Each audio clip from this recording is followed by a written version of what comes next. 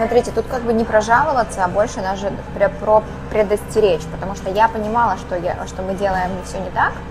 я понимала, на что иду, я сама как бы, да, эти ошибки допустила, плюс у меня еще такой период был, когда, что я переезжала, мне нужен был помощник, и плюс а, сейчас вот этих новых экспертов развелось на рынке вот э, с каждым днем их все больше, да, они как на дрожжах растут, они научились классно себя продавать, их вот этому прям научили классно себя продавать, и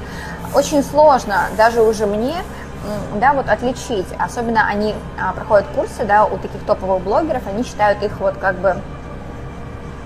всезнающими, да, но при том, что эти блогеры ничего против них не имеют. Там, например, тот же Миша Тимочка, у которого отучилась моя девушка, которая пришла ко мне работать, а, он очень классный, но они дают такие шаблонные формулы, которые не будут работать вот так уникально, универсально везде. Я говорила, что мы делаем и тут ошибку, и тут ошибку, и тут ошибку, и как бы результат на